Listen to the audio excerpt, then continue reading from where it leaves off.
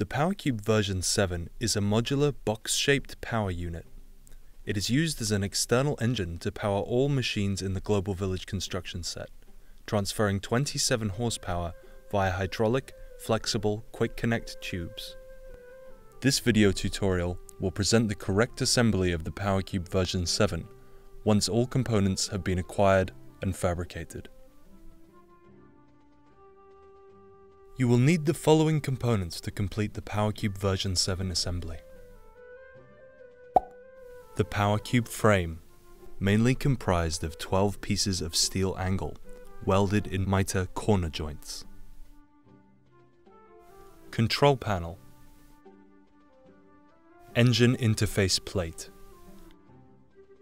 Master mounting plate. Pump mounting plate hydraulic pump with pump coupler and chain coupler, hydraulic cooler with fan, hydraulic quick attach hoses and filter, battery wires and solenoid,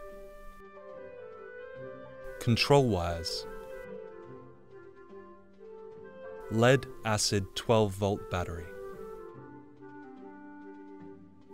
27 horsepower engine with muffler, fitted with engine coupler.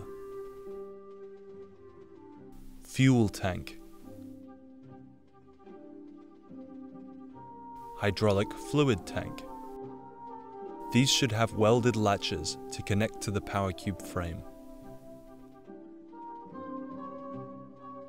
To recap, that's the pump mounting plate, engine mounting plate, control panel, master mounting plate, engine, hydraulic pump, hydraulic cooler, hydraulic tubes and filter, battery wires and solenoid, control wires, 12 volt battery, fuel tank, and hydraulic fluid tank.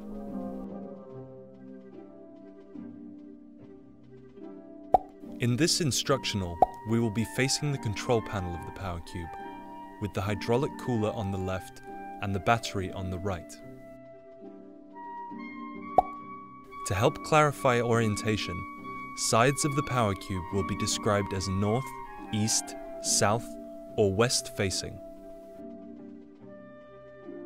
First, add the reservoirs, with the hydraulic tank facing west and the fuel tank facing east. When inserting the tanks, ensure each mount fits over the steel plate and is pushed down firmly. Use a hammering tool if necessary to ensure a tight fit.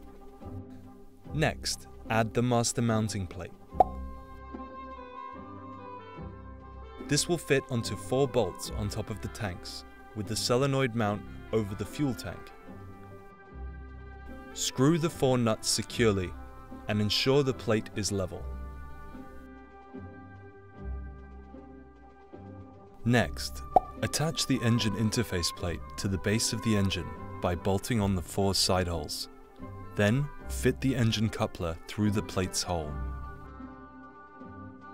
Now we're ready to mount the engine into the power cube.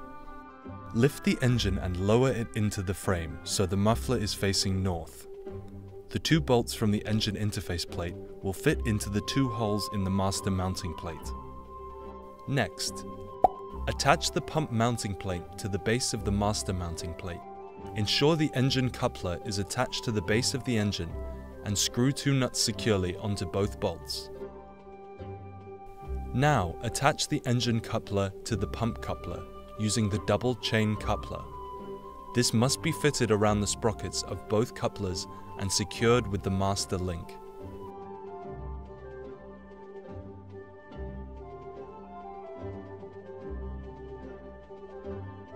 Now we're ready to mount the hydraulic pump. While one person lifts the frame, slide the hydraulic motor under the hydraulic plate.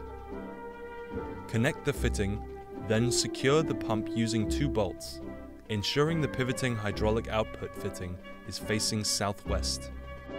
Connect the thick hydraulic tube to the northeast intake fitting of the pump and secure the other end of the tube to the hydraulic tank. Tighten with hose clamps to prevent leakage. Now we're ready to mount the hydraulic cooler. Place the four rubber screw mounts into the corner fittings of the hydraulic cooler and bolt them to the mesh on the west side of the frame. Ensure the hydraulic cooler wafers are against the mesh and the fan is on the inside. Next, mount the hydraulic tube with return line filter fitting to the top of the hydraulic tank. Fit the other end of the tube to the hydraulic cooler fluid outlet. Screw these fittings tightly, then screw in the hydraulic filter.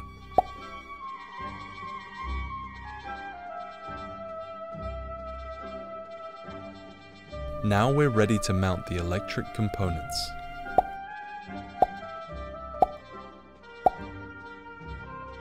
First, insert the battery to the welded mount on the fuel tank, ensuring the negative terminal is facing north.